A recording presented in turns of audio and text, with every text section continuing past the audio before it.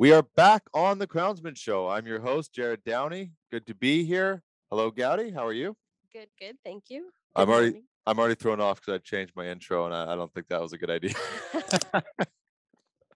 You got to change it up sometimes. Uh, you have to. You get into too the same all the time. and, and I guess it was uh you know a little bit fitting because we've got Hawk measurement um part two, Yes, Oh, another part two. Another part two. We've done a lot. We've done a lot of part twos in the last. Every everybody came back full circle um for the summer, so that's great. Um, but we have Dave uh, Dave Grumney on the show. He's the vice president of sales at Hawk Measurement America. So it's going to be a different representative from Hawk uh, today. And when we talk about doing things different and industry changing, industry 4.0, um, we've had a lot of shows where people will talk at a high level about 4.0. But Hawk Measurement is, I don't know if I would say they are industry 4.0, but they are definitely a key component to it. So lots to cover.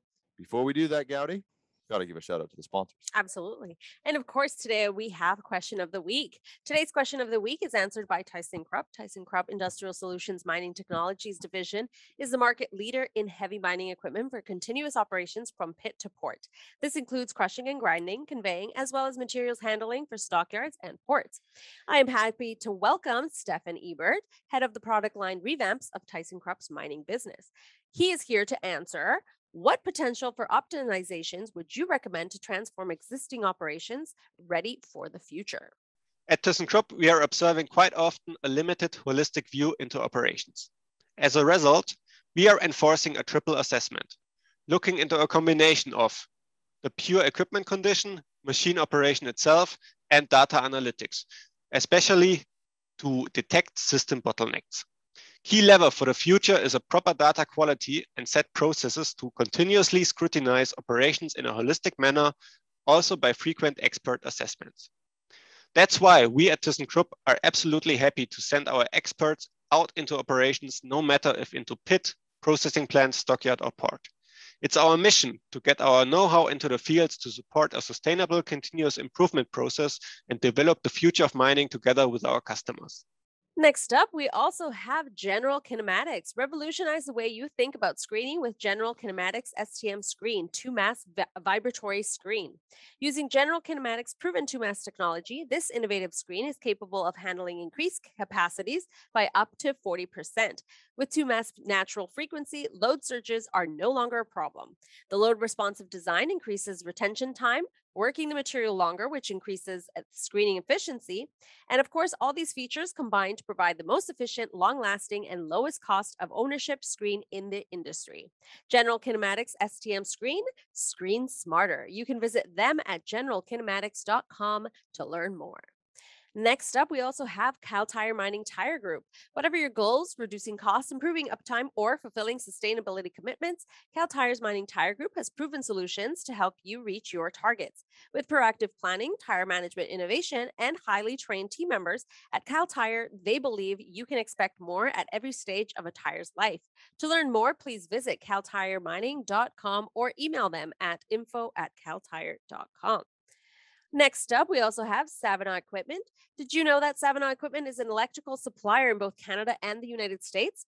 Their electrical inventory includes breakers, disconnects, TEFC, electric motors, starters, TECK cable, cab tire, motor control centers, and transformers. For your new and refurbished electrical equipment, visit savonaequipment.com where you will find more equipment every day. And last but not least, we've got PowerZone equipment. When you need a specialized team of world class engineers for your oil and gas pipelines, dewatering, or any fluid handling needs, you want to visit powerzone.com.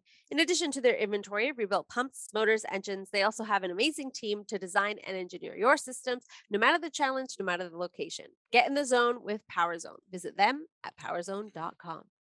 There we go. Boom. Got it. All right.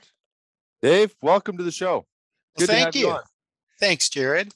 I'm going to go on a limb here. I don't want to assume things about you, but I, I, I, I get the sense you're into golf. I love to play golf. I don't get a chance to often enough, but uh, yes, uh, I do like to play golf. Um, yeah, I, you know, I was thinking when I did this, uh, your, I was going through your website. I have to say, and I genuinely mean this, out of any of these larger companies that we've had on, sometimes the smaller companies will have a little fun, you know, they can risk a little more, but your bios are, quite funny on your website. Like some of them Uh, are very funny.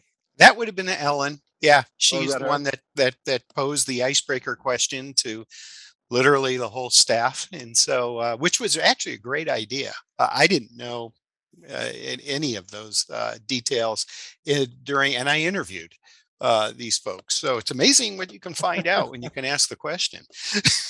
yeah and it just it- you you see you see little um I- you know you see smaller companies a lot of times like like marketing companies or something like that they'll have you know they'll have funny bios you know to try to show sort of creativity and that sort of thing and i get that but you know for a company that works at hawks level to sort of give people a little window that's it says something about the company i, I thought it was quite neat actually Yeah, yeah, it was great. Um, I, I really put you on the spot. Uh, there's, uh, you know, I like comedy and all that, and when it's like one of the worst intros you can do is say, "This is the funniest comedian on the planet," and I basically said Hawk was Industry 4.0 at the intro, so I stand. in there. Yeah. But with that said, Hawk is doing some pretty amazing stuff. Can you just sort of give that that overview of who Hawk is as, as a company? Yes, absolutely. Thanks. It, Hawk, for the last over 30 years now, is primarily a, uh, a company that's driven by innovation. Now, that's a real, uh, you know, glitchy thing to say, but um, uh, or, or and, and the cliche really doesn't uh, describe Hawk's DNA, but that is who we are. Uh, Hawk is very innovative um, in in the area of sensor technology. Industry 4.0 in general is driven at the very core. If you boil everything down, the very essence of this new uh, industrial revolution is really all based on the sensor. None of the data that we're going to be talking about later makes sense if you don't have a really good sensor. Mm, So Hawk has really invested heavily in sensor technology. And then on top of that, there's a layer of, okay, how do we integrate this sensor into what we know now is, is data driven uh, acquisitions eh, of, of systems, of, of sensors, of field devices, uh, all meshed within the, the, uh, the environment whether it's a cloud-based environment or a plant uh, network system. Yeah, there's so much Hawk covers in so many industries. I mean, we were talking offline about the ag sector and uh, municipals, and I mean, it's just it's just crazy. So, I you know actually I had some notes on the what I wanted to touch about your R and D, but I kind of want to bring that to the beginning because you mentioned the cliche part, and and it is a cliche for a lot of companies. I I, I think if I see the word innovative on another um, about Mhm. page, I, you know, it just Yeah, like- right. it's like well i don't know you you know you you build basically the same thing for 50 years i don't know if we can call that too innovative but it is not the case in hawk i mean your your r&d like the percentage of revenue that goes to r&d is just it's wild i've never even heard of it to be honest Yeah, yeah. Who takes 25% of their revenue every year, drops it back into R&D?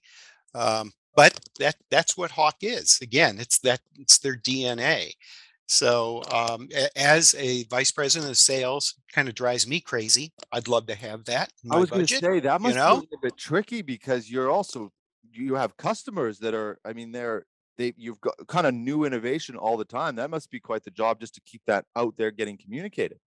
That that's a and and you know our our sales partners will tell you that that's one one of the things that sets us apart is that these guys keep coming out with these new products every quarter you know and and uh, it's hard to to uh, to to kind of communicate and stay up on top of but uh, the process is is really what uh, kind of blows me away still um, the the process we go through in order to in order to keep developing uh, those products which we call you know innovative what what i like to think of is is a lot more uh, creative uh, because um, you know if you- if you're if you're in a, involved with a company that is going through that process we all drift or have a tendency to drift into this let's make whatever is popular at the time. Yeah. And uh, for instance, we're going to be talking about um, tank level measurements primarily uh, during during this time.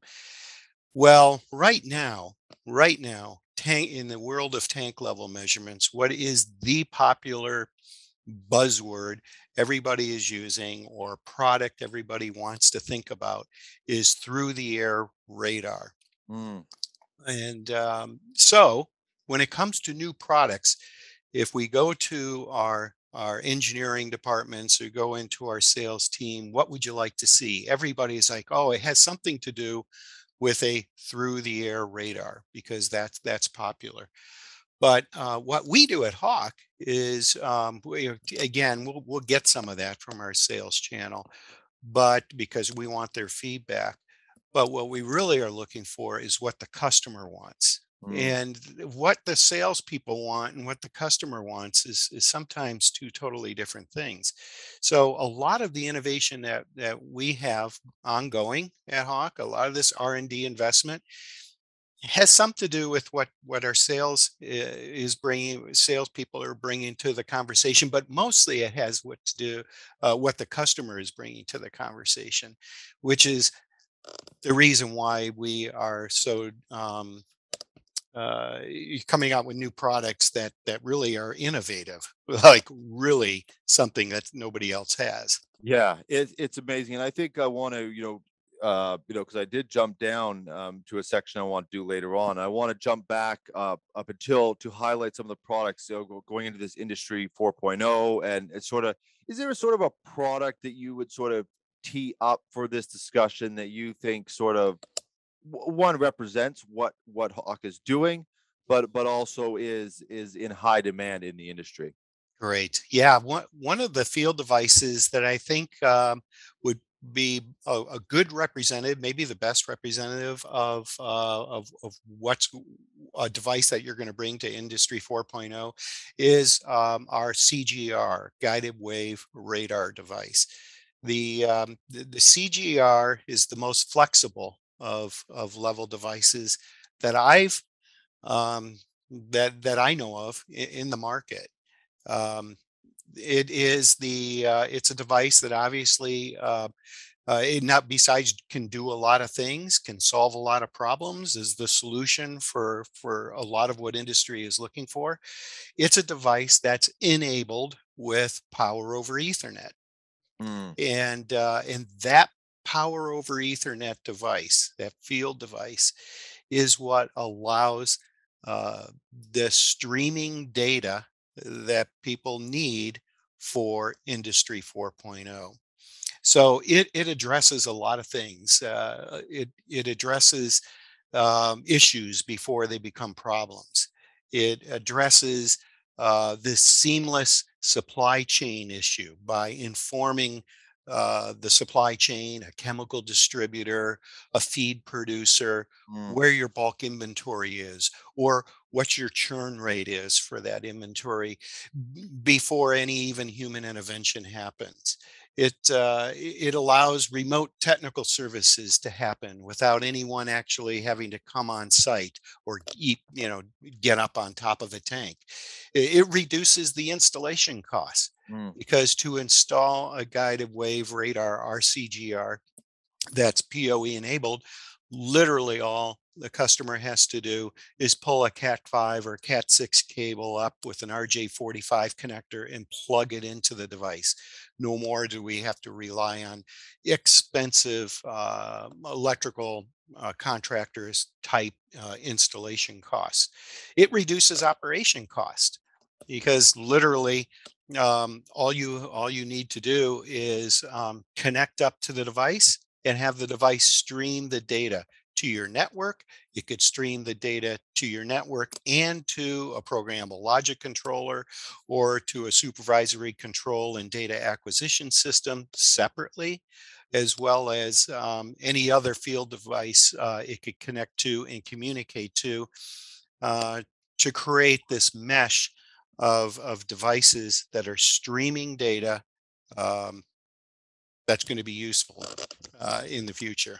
Is it, uh, what, what about integration? Uh, that's something I always wonder about when we're talking about thi- this type of technology and sensors and that is integrating into, um, an existing system and that, is that, is that ethernet connection, does that, does that allow like, like basically a central control station or a computer software? Is it pretty adaptable to all these different systems that the companies are running on?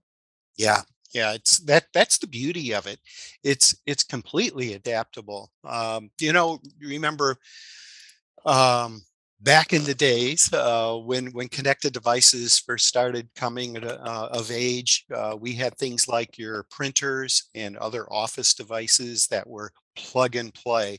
Well, we're there for industry now Yeah. too. So the industrial Internet of Things, which is IoT, is already there now. So we could plug it in and with very little or uh, human intervention, if at all, it will start to connect and stream data to, again, your network, to whatever software you have monitoring the data on your network, or um, up to the cloud.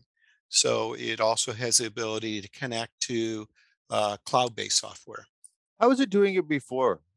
Was it, Dave, was it Mhm. like, was it, like you said, these complex wiring? What would be an example of that? How would you put a, you know, a similar version of this sensor in without the ethernet? Yeah, yeah, which was originally how we started off with the third industrial revolution. And that's where the microprocessor was inter, uh, introduced to sensors.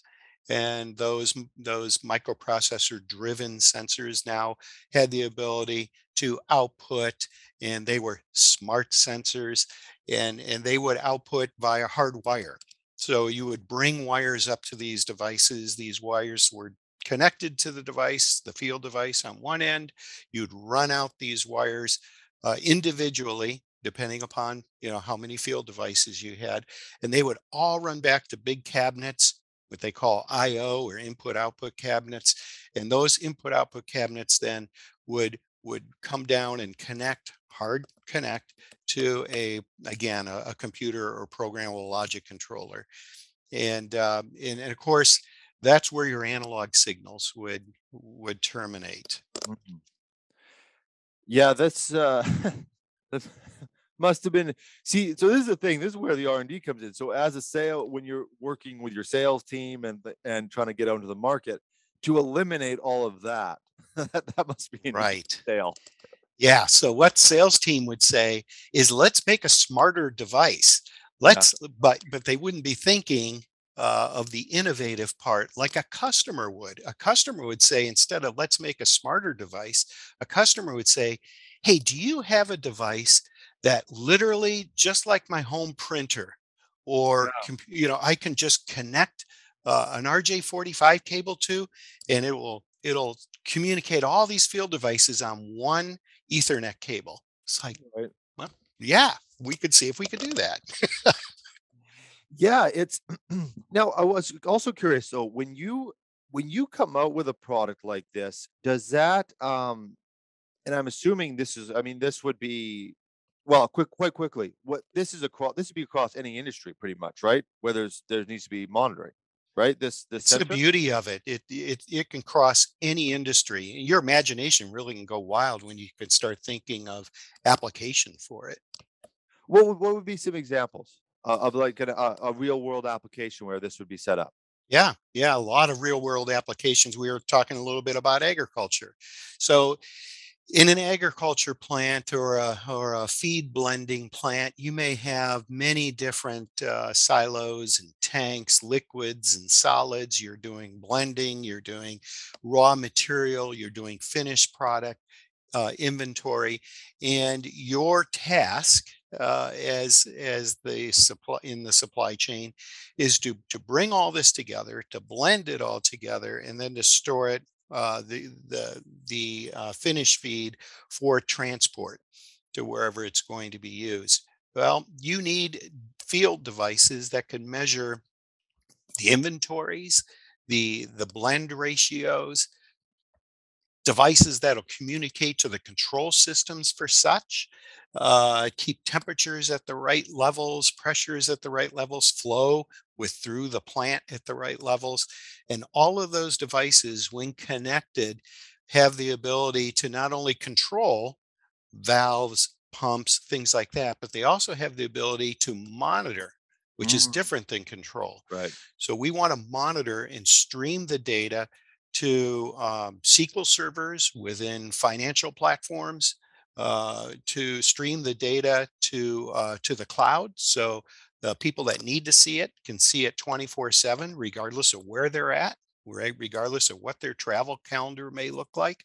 Um, and so that's that's some practical application within the agriculture industry that that we're actually even doing we could do the same thing you can you can transport that whole conversation to uh, to a municipal water wastewater plant where you know they have they have the the requirement for delivering water services or sewer services 24 7 and they have to be able to do it uh, remotely as well as as locally within the plant I I have to ask, what happens when you're on the old one of the older systems and then the new system comes in?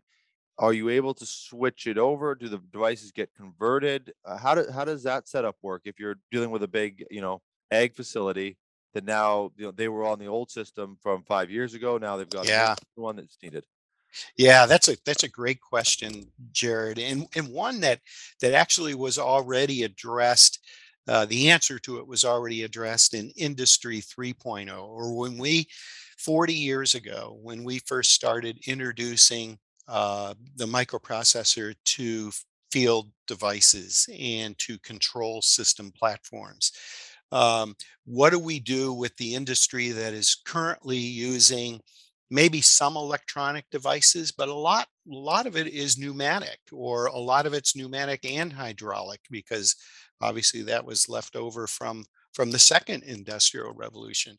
So uh, you had to you have to do this so so it's um, you can scale the migration or the integration of the new technologies. And in Industry 4.0, you have that same scalability. It might even be easier to, to do the scalability within in Industry 4.0 than it was in Industry 3.0. So we can have a blend of, of instruments, of field devices, of sensors, of, of um, uh, the not only the um, the Internet of Things, but the Internet of Systems as well, uh, Right. which yeah. is different control systems all communicating to one another. Um, and so, yeah, we, we can do that in a blended or scalable fashion within Industry oh. 4.0. are, are companies that you're working with are they pretty up to date like when you come in are they are they like someone like myself if you walked into the room you'd be it, it would be you'd probably have to spend way more time than you want to explaining how it's going to integrate into my system because i'm not really up to date. But are the people that you're talking to like like a lot of I, I would say what was it 10 years ago? I've said it many times on the show they started Yeah. you started hearing the term chief technical officer seeing a lot more of that. Are you finding that um, companies are coming in and they're it's a collaboration process they're kind of already up to speed as opposed to a time when it was like internet of things i remember yeah i don't even think it was 10 years ago honestly i don't and i think it Yeah, was like right. Or something the canadian uh you know or canadian national radio and they were saying, you know, there's going to be uh, the Internet of Thing, which is going to like, you know, uh, monitor real world applications. Like it was this crazy concept, and it's just what we live in now. It- Yeah. it's, Yeah. So, uh, are people up to date generally, or is there still a lot of education that needs to go into it? Yeah, believe it or not, Jared, that's a great question too. There, there, you see the whole the whole map. So, if, you know, in, in one part of the day, I'll be making a presentation or having a conversation, and we'll actually the conversation will be uh, answering questions like, "Well, can I run my Ethernet cable with the power wire all all in the same tray or all in the same conduit?" To um, you know, answering very high level uh, questions about networking or digital communications or speed uh, of communications, these kind of things. So some companies are their their technology officers are already involved and they're asking really high level questions great questions about the integration of, of PoE field devices. Other companies are just starting to get there. But one common denominator I think that, that we have, one common thread I think we all have is we all understand that if we aren't fully automating our systems with the eye of industry 4.0 um, on, the, on the near future, the horizon, yeah, we probably aren't going to be be around. Right. Yeah. You just wouldn't you wouldn't be able to compete now, right? That's I Right. guess that's what it comes down to. You know, I was just going to touch on something quickly, Dave. Is um the sort of the the preventative maintenance side because that's a key thing. I think we touched on it a little bit um back in part one of Hawk, Mhm. um, and I kind of wanted to circle back to it with with within the context of CGR. Um, can you sort of map that out for us?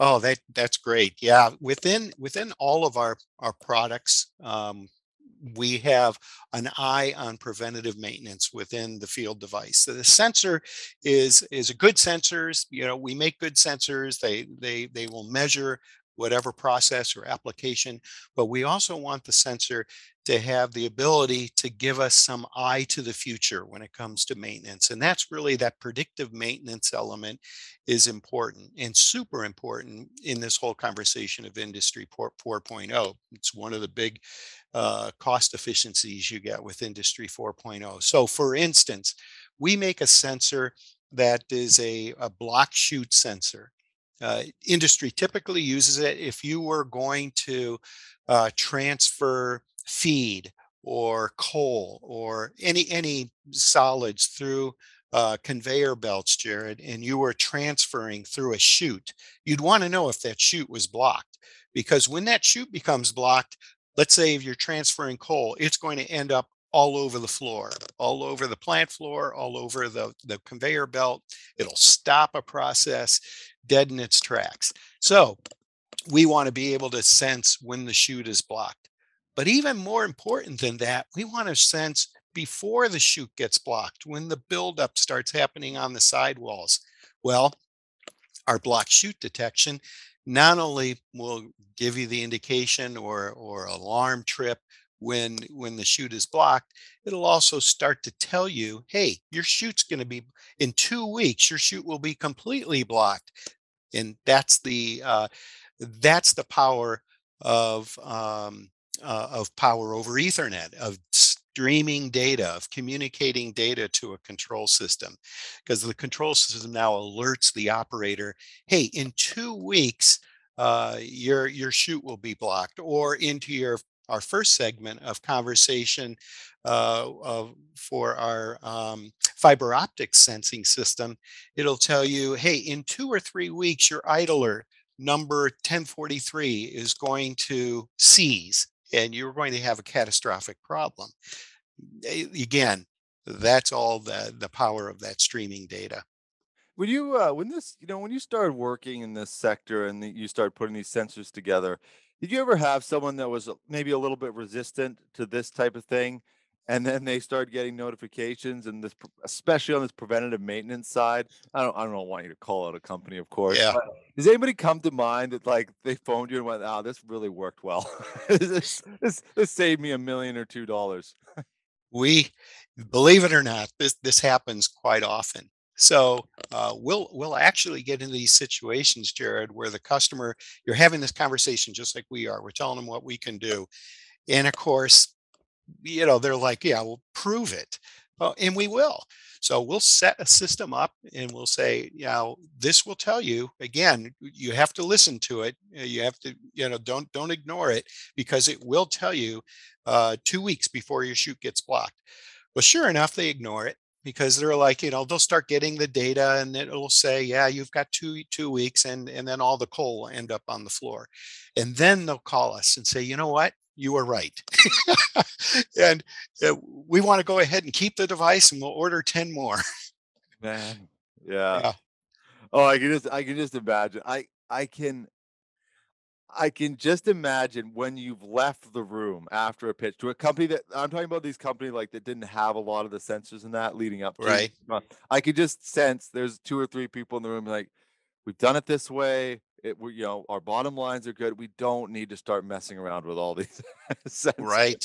Right. when someone's in the room like yeah we do yes we do need to do it um yeah i'd love to be able i'd love to be able to fly on the wall after you've left the room and those initial those big investments that they made into set, setting these all up um i wanted to again i'm just jumping around a little bit dave but there was off air we were talking um during the pre-interview we were talking and i think it's still in the cgr uh family uh, of services is um, the subterranean sewer systems. And I know uh, people on the show are going to be, hopefully, there's not a lot of people eating while we're doing this. Um, but uh, you told I was like, okay, well, we, we have to cover that. For one, the information that you're giving is sort of staggering. Maybe more people know about than I think but what you're doing in that space also is very interesting. So I, I just want to kind of turn it over to you to lay it out um, like you laid it out for me. It's very interesting. Right, right. Well, at the beginning uh, of our conversation here, Jared, we were talking about how flexible the the CGR guided wave radar is. And part of that flexibility is the fact that um, the, the guided wave radar, just as a sensor, has so many advantages over typical level sensors. For instance, one of the limiting factors, if you would, of some level sensors is that they can um, they can only measure with dielectric ranges that are similar to water, maybe just a little lower than water and up. Uh, our, our guided wave radar can it can measure just about in any dielectric, all the way down to uh, half a dK, which is insane and that's unheard of. That allows us to get into applications um, uh, like the one you're talking about, which is um, monitoring the discharge of grease uh, to protect our subterranean sewer systems. So one of the things we all have in common is we live in municipalities that all are battling this, uh, the, the proliferation, if you would, of having 40, uh, 50, 60 times more fast food restaurants today than when we built the subterranean sewer system in that municipality, which creates a huge load on the municipality to keep their sewers clean because and again like you said i hope you aren't eating eating oh, but there's so a, a, huge release of, of grease and fats and oils uh, from from these food service establishments. Well we make a device that will actually measure the amount of that release to a municipality, that would be like, you can, uh, because we've never yeah. been able to monitor that before. And yeah, it's because you didn't have the technology, but but Hawk makes that kind of technology. They they use you know 1.54 volts pulse power where everybody else uses just you know a, a, a half of uh, less than a half a volt to that kind of thing so um, there's all sorts of other highly technical reasons why we can do that. But in any event, we can make that measurement down in the grease trap, believe it or not. You know, everybody kind of knows what a grease trap is. And we make the measurement in the grease trap where the, the uh, water is separated from the fats, oils, and greases. And before the discharge of the fats, oils, and greases goes out into your sewer, uh, pipe down into a lift station, clogging up the lift station, creating what's called fatbergs. Uh, we, um, yeah, we can measure that. That, yeah, it's, I kind of, so before that, so before you get to a municipality, what are they doing then? Are they just they're just discharging and hoping it doesn't build up and doesn't block and like uh, what what's what's the yeah. no no the, the the municipalities actually they hire on their payroll uh, inspectors grease trap inspectors. Really? So think of you know if you're in Kamloops you may have uh, 200 food service establishments but you may only have one inspector my inspector can't get around to all 200 food service establishments within you know even a year. Um, so it's important to have automated sensing and communication devices uh, you know in place not to replace the inspector but to, to assist the inspector to do their job appropriately, uh, you know, correctly in an appropriately uh, way, where we can determine how much loading of fats, oils, and greases is going to discharge down the sewer to prevent problems in the middle of the night. The problems are things like sewer backups into That's what I was basements. What's the so end on. result? Yeah. Yeah, that's only one of the problems. The other problem, Jared, is the, the sewer backs up into the street. So in a rain event, if you see um, areas that look greasy, yeah, that's because the fats, oils, and greases have come out. from? Ah. Yeah, yeah. That's yeah, and there's an odor and a health issue with that, as you can imagine. Yeah. I, I, you know, we're we are a business, so we get sponsors. I, I'm okay with not having fast food sponsors. I didn't say that.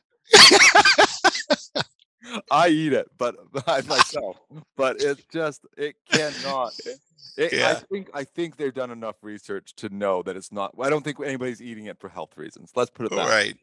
But Right. that that's just staggering. Yeah, I and it's so interesting that you say about it. Um, you know, not I'm I'm just kind of people can eat whatever they want, but I, I'm so I'm just kind of in jest. But it is very interesting that when these municipalities got built, they didn't think of Right. they didn't think of someone just pumping out burgers and coffee and just just I mean, you I drive into locations now. I mean, there will be like I'm thinking of the one there's uh, I think there's four in a tiny complex. Yeah. Yeah. I don't even know how they stay in business, honestly, other than I'm Well- through the drive-through with everybody else. So I guess that's how they do. But it- Yeah. it's a staggering amount, and I never thought of just. I I actually didn't realize that the grease just got discharged down the sewer. I know everybody else listening probably did. I never thought of it. That all of that Right. getting put into the system. Nobody does. Nobody does. But now that you know what you know, now that we've had this conversation, next time, you know, at, through this next year, as you're driving through that intersection where you have four, five, six fast food restaurants, there's going to be a collection system somewhere close to there um, where the sewers all tie in. You know, it's it's a sewer tie you've probably heard of. That is going to be needed need to be replaced on somewhat regular basis, and you're going to be amazed. You're going to go, "Oh, that's why I always see the backhoes over there." Wow, that's Yeah, because they're digging it out, cleaning it, putting all you know, putting all new infrastructure back in on some period, you know, regular basis. Just within a mile of me here, this happens on a regular basis. They'll come in after we put lay new concrete, you know, all that stuff, just because of all this fats, oils, and greases being discharged. And it again, it creates a- it's a health and an environment concern. So the Environmental Protection Agency in the United States has over 40 consent decrees. Uh, that's 40 municipalities or jurisdictions that are being levied fines because of this issue. So it's not just an isolated issue. Wow. All right. So the sensors are telling you what the the levels are, right? They're just controlling it, and then it's up to the cities then to figure out how to how to deal with it and how to not not make it a basically all these issues that are coming out of it, right? Is that that's what Yeah, the munis- municipality can't do really anything unless they have the data. They have to know how much fats, oils, and greases uh, are being discharged. They have to know even if fats, oils, and greases are being discharged. Well, the sensors can tell them absolutely. Not only we can tell you if you have a discharge, we can tell you the amount of discharge. Yeah, that's it, it's amazing. It's amazing stuff. Um, not to get too hung up on it. So I want to talk talk on a couple other things. Um, there's the uh, like when you say like I like I think you already touched on Pulp Master. I think we already talked about that on the last show as well a bit. Um, Mhm. is there sort of any other areas? Maybe maybe the Pulp Master. Um, is there a couple other areas you'd want to sort of highlight where this sensor really? I mean, I know it's across so many industries, but it, a couple other ones you kind of where it shines. Well, it really does shine it in any traditional tank or um, or silo or, or um, bulk container or 55 gallon drum. I mean, again, this sensor is super um, uh, um, uh, flexible. So we can use it in a grease trap. We can put it in a flotation cell uh, in a mining operation where it can sense the uh, the separation of the pulp and the froth. You could put it in an API separator for oil and gas Mm, where you, again you want to you want to dynamically know the the the difference between the oil and the water separation with the, for for in, inside an API separator, and it has all the approvals. It comes with the the Canadian registration numbers, and you know it's uh, it's just a super flexible device. That's the the, Hawk Measurement CGR is uh, is probably used over more platforms than than any other field device I know of. I was I, I remember the question I was going to ask. Um, it was about support systems. Um, once installation is done, um, Mhm. how is that like your distribution model? Is it? I, I've seen companies. I think we've maybe even had some on that are Hawk distributors. Do I have that Mhm. right? You do Yeah. you work through Yeah. distributors, right? What yeah about- we have we have manufacturers reps that are that are dual role they're manufacturers representatives that are also uh, distributors so they can buy Mm. resell they can you know they represent us in in in known areas And then what about the support once these systems are in place? Like who who's actually providing that technical support? Right it's either locally via the distributor or manufacturers reps or they're trained they have trained technicians that are that are factory trained that can locally support there's support that we offer remotely.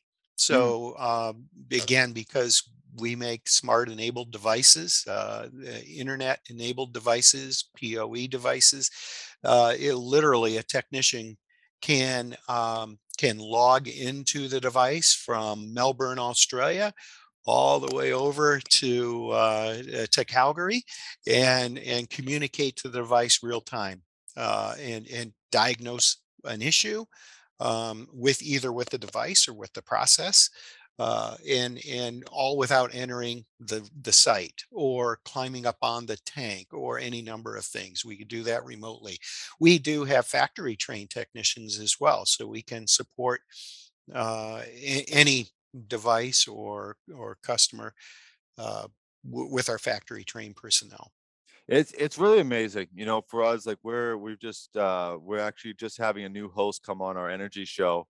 Um and uh he's gonna be located, our our command center is gonna be here. We're producing the show for him remotely, and the guest is gonna be in another location in the world, and we're producing it all from here. It's just it's absolutely amazing what you can do. And I think it's Yeah. easy, it's easy to get used to it really fast. You Go, oh, this is the way it's done now. But Yeah, it's absolutely amazing the connectivity now that you can take advantage of. Um, and I, I will say, some people, you know, I know a lot of people want to get back to the in-person meetings. I like the hybrid. I like that we can meet in person, but I, I'm sure the same for you. It used to be, it was almost rude to uh, do a like a video stream. So you'd spend the whole day Right. meet somebody. You have, you know, you get the check, you end up having lunch. It's just like, okay, that was four hours. Yeah It's like yeah 20 jared if it imagine if you're in sales management and you uh, you know i've got Oh. 250 manufacturers reps individuals uh, out of 23 rep firms now um, that that Wow. i oversee and before hiring them i used to have to go out and interview personal interview now we can do most of that in fact you know almost all of it uh, virtually it just Yeah. saves a tremendous amount of money and time and efficiency is just increased exponentially Yeah, and, and I, I'm sure for a company like Hawk, where like that R and D component, I mean, that is just that that must be a big advantage actually for you. And I, Yeah. I should ask about it. Of course, um, we, we don't want to get dinged for using the words, but everybody knows about what's you know gone on in the last almost two years now. This has been going on, you know, lockdowns and all this type of thing. Um, Oop, you use the word oh no, it'll be fine. It'll be fine, Gaddy. Um, couldn't help myself. Uh, but uh, the when we're w- for a company like Hawk, it must be because they're innovative and that sort of some of these that must be a big advantage for you, being able to sort of streamline your communication and support systems and everything like that. we it is it's uh the, the fact that we have uh, video, you know, the old video conferencing now is on so many platforms, so many web platforms. And um, so we can really reach out to, to literally any corporate from any location. Uh, we can do this internally as well on, on just about any platform. And when we're globally headquartered in Melbourne, Australia, and I think uh, without using any of the the terms, we know what what situation Melbourne is in right now. Um, Yeah, it- no kidding. but it's so it's imperative that we we you know I'm not able to fly make the 23 hour uh trip by plane to to go there so it's Yeah. imperative that we run the operation the way we do and having uh, all the the digital data uh, up on cloud platforms super secured um and and, and uh, it's just yeah wouldn't be able to do it without it Yeah, it's it's we are we are living in an amazing amazing time in history. I mean, it, it's not all perfect, but you know, but I think it's easy to get hung up on some of the, especially if you watch too much news. You know, I I learned I do not watch the news or listen to it before I do these shows. Yeah I did it a couple times and I couldn't do the show properly. It just it just messes you up. And I know I know personally that it does because I saw the difference. But we start focusing on what we're accomplishing and how we're putting it all together. It's pretty amazing what people are doing. It really is. yeah Um, Dale, thanks for coming on the show. It's it's great. I mean, Hawk is just uh, you know, it's why we built the show. It's about you know technical information and showing innovation and what industry is doing and how it's making it more efficient, uh, efficient and making industry better. I mean, and Hawk represents that right from top to bottom. So. Uh, genuinely appreciate you coming on. Thanks for Ellen for putting it all together for us. Uh, it's just been Yeah. great working with Hawk. thanks jared Okay. Gowdy, that was part two. Um, it, it- had a completely different feel to it, Absolutely. completely different topics. So, um, and I think our audience is, is a lot bigger since last time. So, a For lot of new people will be seeing it. It's going to be great. No, I think these part twos have been uh, super great because I mean, a lot of people go, "What what else can I talk about?" And there's just so much. I mean, just an hour, everybody goes, "Oh my god, what am I going to say?" oh, you have no idea how many long?" times many And- people went an hour. Yeah. Really? um, but an hour is not enough.